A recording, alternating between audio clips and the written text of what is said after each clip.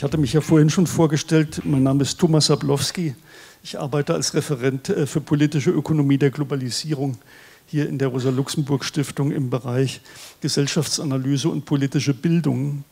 Ich bin kein Ökonom, äh, also genau wie du, Hans-Jürgen, sondern Politikwissenschaftler, muss aber mich jetzt sozusagen hier zu ökonomischen Fragen auch äußern, weil das auch einer äh, quasi ja, marxistischen Tradition entspricht erstmal mit der Ökonomie sozusagen anzufangen, ein bisschen und dann über weitere Dinge äh, zu reden. Also insofern äh, liegt mir das relativ nahe und äh, da wir ja auch immer Mangel an linken Ökonomen haben, springen öfters auch mal Politikwissenschaftler halt ein und reden über ökonomische Dinge. Äh, der Titel hier äh, Kapitalismus in der EU seit der globalen Finanzkrise 2007-8 Frage erodiert das neoliberale Paradigma. Ich würde eigentlich ganz gerne zwei Antworten auf diese Frage geben. Erodiert das neoliberale Paradigma? Zum einen könnte man sagen, kurz gefasst, ja und nein. Äh, die zweite Antwort ist, dass man eigentlich den Begriff des neoliberalen Paradigmas meines Erachtens auch ein bisschen problematisieren muss weil ähm, oft dem Neoliberalismus auch zu viel Erklärungskraft zugeschrieben wird aus meiner Sicht, beziehungsweise neoliberaler Wirtschaftspolitik oder Wirtschaftspolitik im Allgemeinen. Äh, wenn wir reden über kapitalistische Produktionsweise, dann handelt es sich aus meiner Sicht auch um sehr viele Prozesse, die quasi von privaten Akteuren, privaten Unternehmern gesteuert werden, wo der Einfluss von Wirtschaftspolitik und Politik im Allgemeinen auch relativ begrenzt ist. Also die Frage der staatlichen Steuerungsfähigkeit muss man da, glaube ich, auch sehr kritisch äh, diskutieren. Und das bedeutet eben auch, äh, sozusagen das, das, neoliberale Paradigma kann man auch diskutieren, wie viel Einfluss das überhaupt hat. Aber ich werde versuchen, das jetzt noch ein bisschen zu konkretisieren. Zunächst äh, will ich aber noch mal sagen, äh, auch anknüpfend an das, was Peter schon gesagt hat, dass die EU aus meiner Sicht in erster Linie eine Form, eine politische Form ist, um die Akkumulation des Kapitals zu gewährleisten und die Internationalisierung des Kapitals. Das mag jetzt hier in unserem Kontext ein bisschen banal erscheinen, aber es sind ja durchaus auch andere Begriffe der europäischen Integration oder der EU in der Diskussion wie Friedensmacht Europa oder äh, die soziale, das europäische Sozialmodell und so weiter. Also Begriffe, die aus meiner Sicht eher ideologisch sind. Und äh, insofern ist es mir wichtig, das nochmal zu betonen. Politische Form der Akkumulation des Kapitals und das heißt natürlich auch eine Arena des Klassenkampfes. Ähnlich natürlich wie der Nationalstaat, aber eine spezifische Form und darauf will ich noch ein bisschen eingehen. Wir haben es zu tun mit einer wettbewerbsstaatlichen Integrationsweise, die sich seit den 80er Jahren herausgebildet hat. Die Grundlagen der EU wurden ja geschaffen in der Phase historisch, wo eben auch der Neoliberalismus tatsächlich in der Offensive war und praktisch den wohlfahrtsstaatlichen Kapitalismus, den fordistischen Kapitalismus, äh, wie wir das jetzt aus der Perspektive der Regulationstheorie bezeichnen, äh, aufgerollt hat, die sozialen Kompromisse, die in, den, in der Nachkriegszeit in den 50er bis 70er Jahren gültig waren, aufgerollt hat.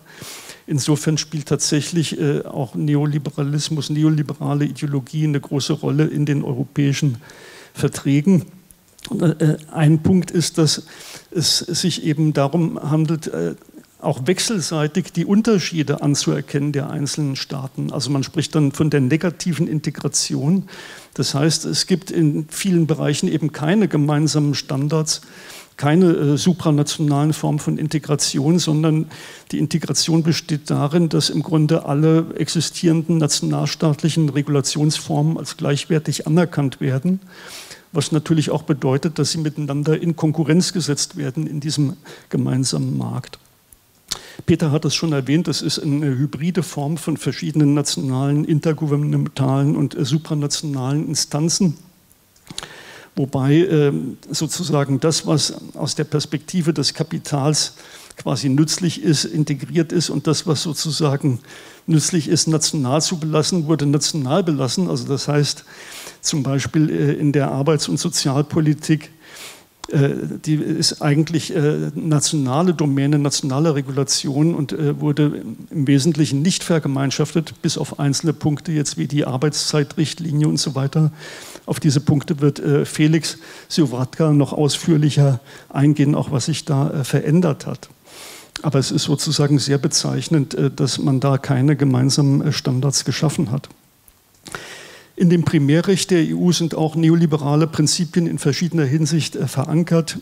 Eben der Grundsatz der offenen Marktwirtschaft mit freiem Wettbewerb, Ausschluss äh, wechselseitiger Haftung für die Verbindlichkeiten der Mitgliedstaaten, das Primat der Preisstabilität als Ziel der Geldpolitik, Verbot der monetären Staatsfinanzierung, aber eben auch dann die Möglichkeit des finanziellen Beistands im Fall von Naturkatastrophen und außergewöhnlichen Krisen. Das heißt, wie in jeder auch nationalen Verfassung haben wir im Grunde immer auch hier eine Relativierung eingebaut, wo dann für den Ausnahmezustand im Grunde es auch möglich ist, die Regeln aufzuheben und äh, zu übergehen. Und davon wurde ja in den Krisensituationen der äh, letzten Jahre und Jahrzehnte auch dann äh, Gebrauch gemacht. Ich will auch noch kurz eingehen auf die Funktionsweise der Währungsunion. Äh, der gemeinsame Markt ist ja an sich äh, sozusagen schon eine Form, in der die Konkurrenz quasi äh, hergestellt wird und durch die Währungsunion wird das im Grunde genommen noch verschärft. Denn in der Währungsunion ist praktisch die Geldpolitik integriert. Das heißt, die einzelnen Staaten haben eben keine eigene Währung. Aber ansonsten in anderen Politikbereichen gibt es eben keine gemeinsame Politik. Also jetzt zum Beispiel Fiskalpolitik, Lohnpolitik und so weiter ist ja nicht integriert. Normalerweise ist es aber so, dass die Wechselkurse als Schutzmechanismus bis zu einem gewissen Grad auch wirken in der internationalen Konkurrenz. Das heißt, ein Land, was also äh, schwächer ist in der Konkurrenz, was an Konkurrenzfähigkeit verliert, dessen Währung wertet ja in der Regel ab. Und dadurch werden schwächere Produzenten auch ein Stück weit geschützt. Und dieser Mechanismus existiert eben jetzt innerhalb der Europäischen Währungsunion zwischen den Mitgliedstaaten nicht mehr sodass die Konkurrenz in einer gewissen Weise auch schärfer ist eben als jetzt zwischen Nationalstaaten im Weltmarkt. Gleichzeitig gibt es aber eben auch keine Ausgleichsmechanismen oder nur sehr rudimentäre Ausgleichsmechanismen für diese ungleiche Entwicklung, äh, die in der EU praktisch stattfindet. Die äh, Geldpolitik ist uniform sozusagen, also es gibt einen einheitlichen Zinssatz für alle Mitgliedstaaten. Und äh, das bedeutet aber, dass äh, sie nie auch der unterschiedlichen Lage in den einzelnen Mitgliedstaaten vollkommen gerecht werden kann. Äh, ein Land, was jetzt niedrige Wachstumsraten hat und niedrige Inflationsraten, müsste ja im Grunde genommen eine Geldpolitik haben mit auch niedrigen Zinssätzen in Ländern, die sehr hohes Wachstum haben, eine überhitzte Konjunktur oder hohe Inflationsraten müsste, müsste der Zinssatz eigentlich höher sein nach der kapitalistischen Logik. Das ist aber in der Europäischen Währungsunion nicht möglich. Sie muss entweder sich an einem Durchschnitt anpassen oder eben an dem unteren Ende oder am oberen, aber je nachdem werden eben bestimmte Staaten begünstigt oder äh, übermäßig geschädigt. Bei der Installation der Währungsunion wurde angenommen, dass äh, die Inflationsraten sich anpassen würden, dass die konvergieren würden auf ein gemeinsames Niveau. Das ist ähm, ein Stück weit passiert, aber eben nicht vollständig. Es sind weiterhin auch unterschiedliche Inflationsraten bestehen geblieben. Und das bedeutet eben auch, dass die Länder mit überdurchschnittlichen Inflationsraten in der Währungsunion tendenziell an Wettbewerbsfähigkeit verlieren. Der Anpassungsdruck lastet einseitig auf den Ländern mit Leistungsbilanzdefiziten und äh, der Anpassungsdruck schlägt eben auch voll auf die Löhne und Arbeitsbedingungen durch, weil er halt nicht anders abgefangen werden kann. Das nochmal sozusagen als äh, Hinweis auf die Ausgangslage praktisch, mit der wir es zu tun hatten, äh, auch dann vor der globalen Finanzkrise 2007, 2008, aber die auch weiterhin ja im Wesentlichen existiert. Insofern muss man sagen, äh, die Frage, erodiert das neoliberale Paradigma, kann man zunächst mal auch dahingehend beantworten, das Primärrecht wurde ja nicht geändert. Es ist auch kaum zu ändern, weil es dazu eines, äh, eines Konsenses bedürfte aller Mitgliedstaaten, aller 27 jetzt noch verbliebenen Mitgliedstaaten nach dem Brexit. Aber die Widersprüche sind ja nicht geringer geworden zwischen den Mitgliedstaaten. Also insofern ist es sehr schwierig, auch äh, Änderungen des Primärrechts durchzusetzen. Und auf dieser Ebene haben wir erst erstmal mit Kontinuität zu tun.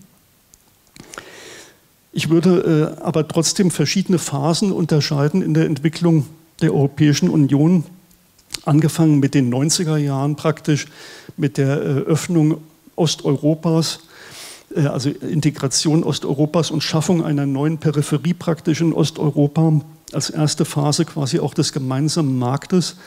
Das fällt zusammen im Grunde auch mit äh, dem, was ich jetzt finanzdominiertes Akkumulationsregime nennen würde, also Finanzdominiertes Akkumulationsregime bedeutet, dass im Grunde die Formen des Finanzkapitals, also das zinstragende Kapital und das fiktive Kapital, mit Marx gesprochen, schneller akkumulieren als das industrielle Kapital. Dass es sozusagen ein Übergewicht äh, der Finanzmärkte gibt, äh, eine finanzialisierte Entwicklung. Und die neoliberale Entwicklung ist ja in dieser Phase praktisch auch auf den Höhepunkt gekommen, dadurch, dass auch die Sozialdemokratie sich immer mehr in eine neoliberale Richtung entwickelt hat. Dann kam die Installation der Währungsunion, die erste Phase praktisch der Währungsunion. Das war verbunden weiter mit Produktionsverlagerungen nach Osteuropa und China, mit einem kreditfinanzierten Immobilien- und äh, Konsumboom in den südlichen Ländern der Europäischen Union, der dann eben auch zu der Finanzkrise äh, hingeführt hat. Übrigens wurden ja auch in dieser ersten Phase der Währungsunion schon die Kriterien, damals die Konvergenzkriterien nicht eingehalten. Damals in dieser ersten Phase hat sich auch schon gezeigt, dass die Ebene der Verträge zwar das eine ist, aber die reale Praxis das andere.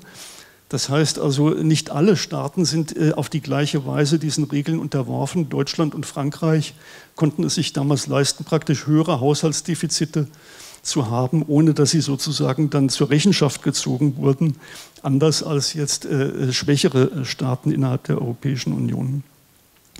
Dann nach der Finanzkrise kam im Grunde genommen die zweite Phase der Währungsunion, wo äh, sozusagen die Finanzinvestoren, die Kapitalanleger die Risiken neu bewertet haben in der Währungsunion und es dann zu der inneren, das was quasi innere Abwertung in der Peripherie genannt wurde, geführt hat. Also das heißt im Grunde ein Anpassungsprozess, der auf Löhne und Arbeitsbedingungen, auf den öffentlichen Dienst in den von der Krise hauptsächlich betroffenen Ländern durchgeschlagen hat und auf der EU-Ebene eine weitere Konstitutionalisierung der Austeritätspolitik. Also das heißt, die Austeritätspolitik wurde quasi in Verfassungsrang gehoben und wurde durch neue Verträge wie den Fiskalpakt und so weiter dann äh, weiter institutionalisiert durch das europäische Semester. Und damit wurde versucht, praktisch eine stärkere Kontrolle der Kommission über die Wirtschaftspolitik der einzelnen Mitgliedstaaten auch zu erreichen. Ich würde aber jetzt sagen, dass in den letzten Jahren wiederum eine neue Phase begonnen hat. Ich habe jetzt hier geschrieben seit 2020, weil aus meiner Sicht diese Phasen immer auch durch Krisen praktisch unterschieden werden. Also wir haben äh, im Grunde Ende der 90er Jahre den Höhepunkt des New Economy Booms äh, und das Ende des New Economy Booms dann äh, mit der Krise ab 2000. Wir hatten die globale Finanzkrise 2007, 2008 und dann eben die Pandemie 2020, den Ukraine-Krieg und die hohen Inflationsraten. Peter ist schon ausführlich eingegangen auf die geopolitischen Verschiebungen. Also man kann das jetzt natürlich nicht auf das Jahr festlegen. Ich würde sagen, wenn man sich zum Beispiel das Verhältnis anschaut zu China, dann kann man in Deutschland ungefähr seit 2016 eine Wende erkennen. Äh, die Übernahme des Roboterherstellers KUKA äh, in Deutschland war aus meiner Sicht so ein Wendepunkt. Seitdem werden eben chinesische Investitionen in Deutschland äh, wesentlich kritischer betrachtet, als das vorher der Fall war. Also die Politik hat sich geändert. Und es gibt jetzt in einer Reihe von Feldern eben auch andere Politiken, die, wie Peter schon sagte, nicht mehr ohne weiteres begrifflich mit dem Neoliberalismus sozusagen erfasst werden können. Ich gehe jetzt verschiedene Bereiche durch, kurz äh, der Regulation. Ich äh, stütze mich hier auf die Regulationstheorie. Also aus meiner Sicht macht es Sinn, die Regulationsweise äh, zu unterscheiden von dem Akkumulationsregime.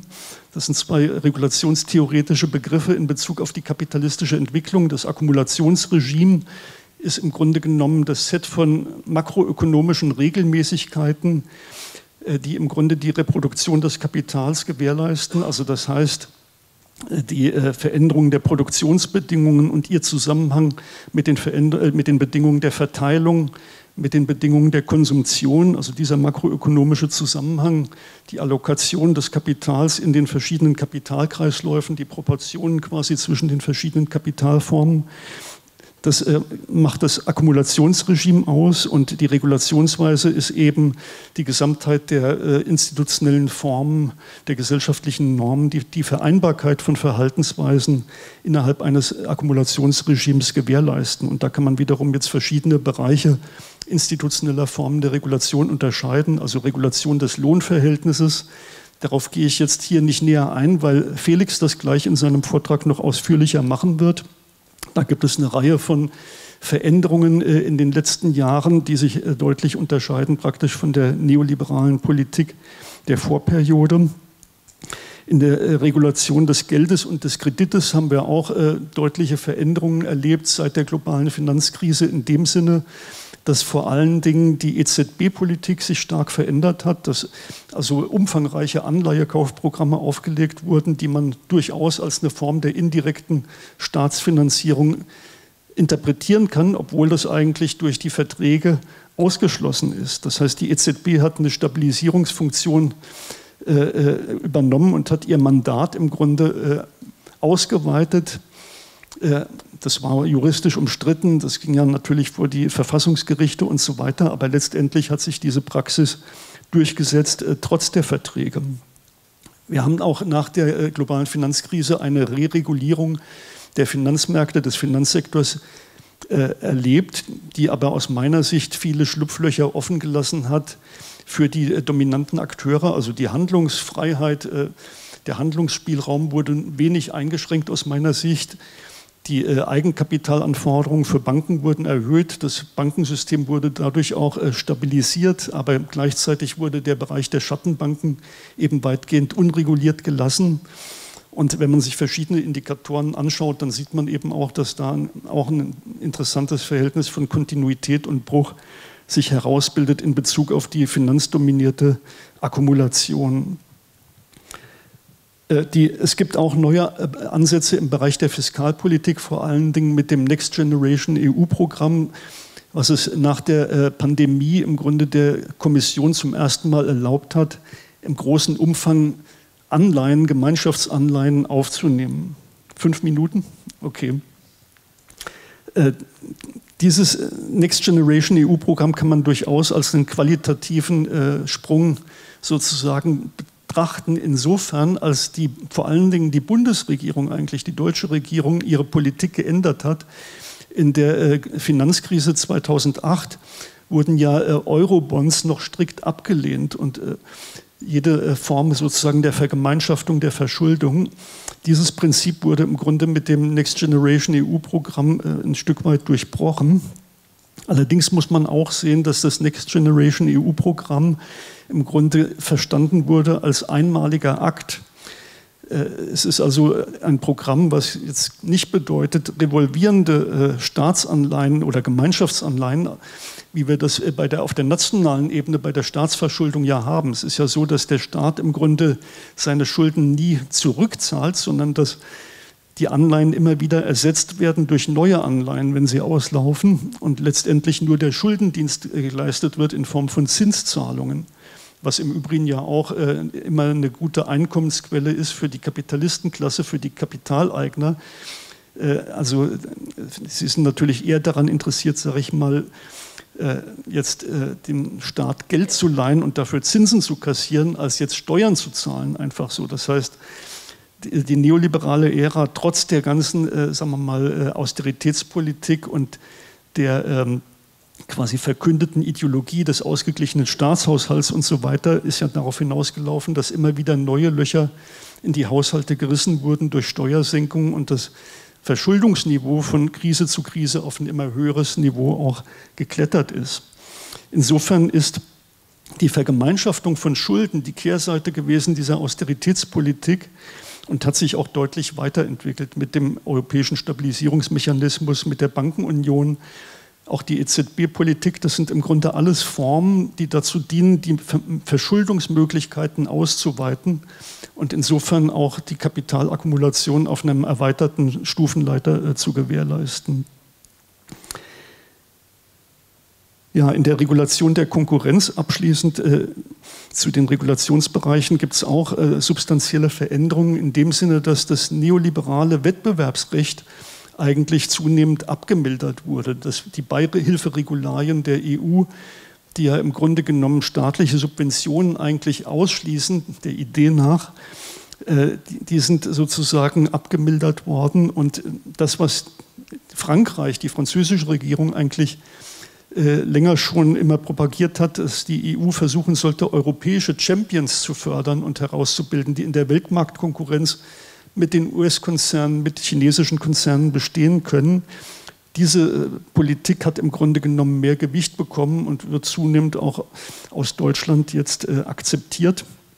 Das hat zu einem Revival eben der Industriepolitik geführt und eben auch zu einer vor allen Dingen ja gegen China gerichteten selektiven Handelspolitik oder Außenwirtschaftspolitik in dem Sinne, dass also Exportkontrollen oder Kapitalverkehrskontrollen in bestimmten strategisch zentralen Bereichen eben äh, eingeführt worden sind, äh, gegen chinesische Direktinvestitionen in der EU gerichtet.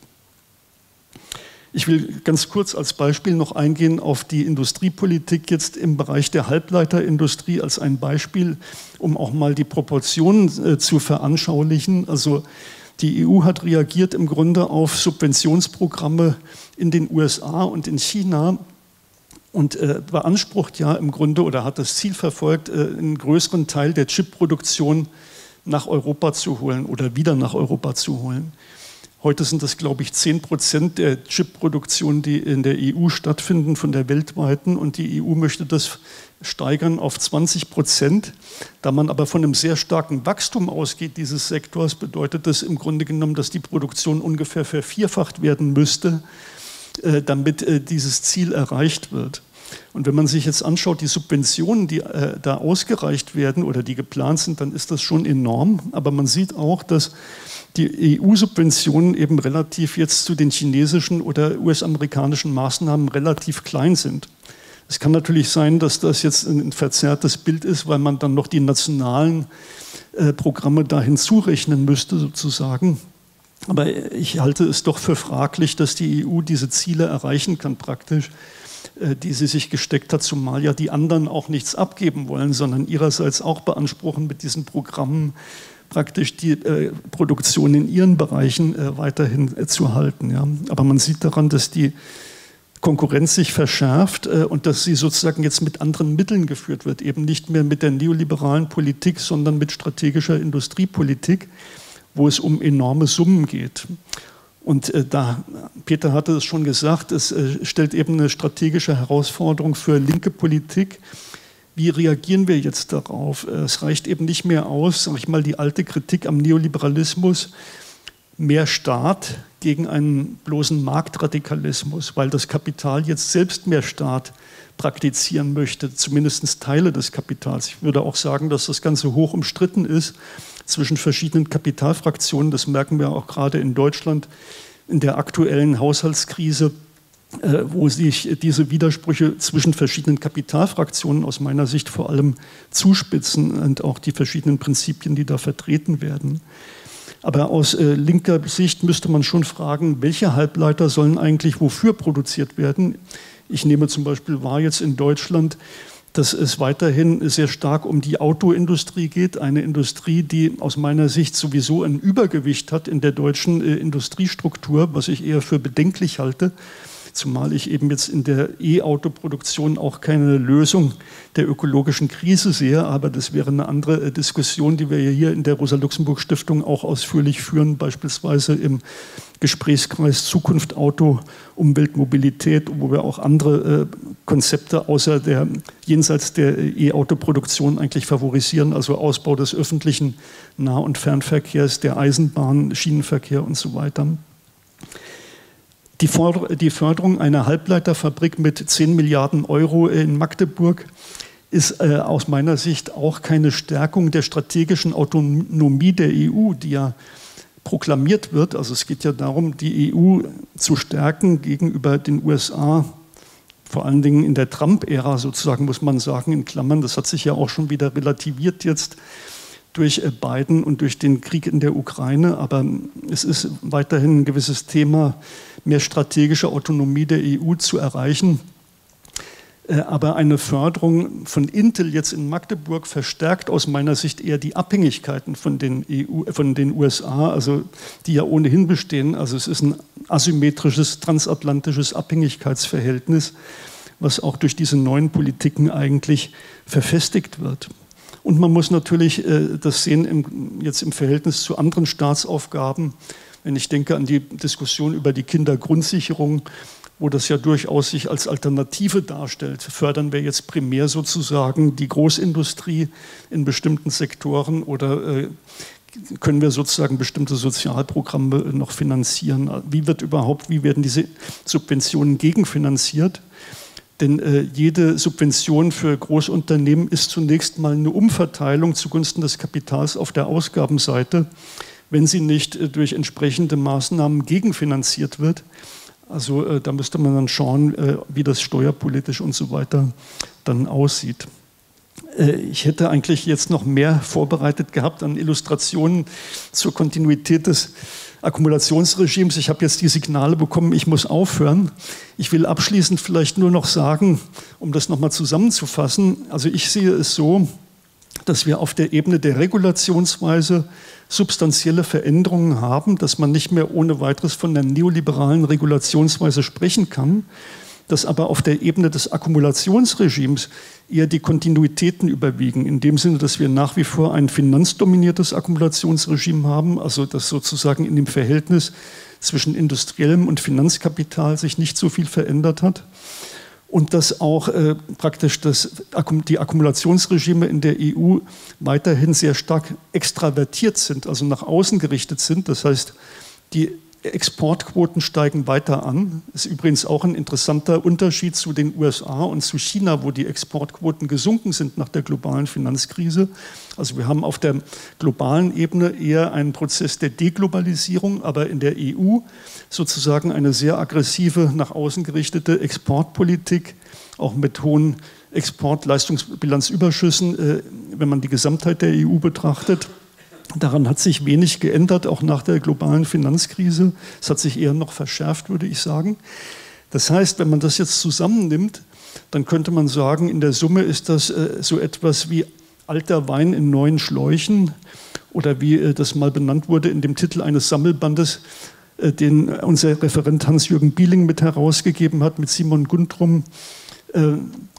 Alter, alter Kurs, neue Segel, neue Segel, alter Kurs. Also das heißt, es wird im Grunde mit anderen Mitteln versucht, das gleiche Ziel zu erreichen wie vorher, die erweiterte Reproduktion des Kapitals sozusagen in den ähnlichen Formen des Akkumulationsregimes, aber eben mit anderen Mitteln auf der Ebene der Regulationsweise umzusetzen. Das wäre sozusagen, kurz gesagt, äh, meine Sichtweise auf den Prozess.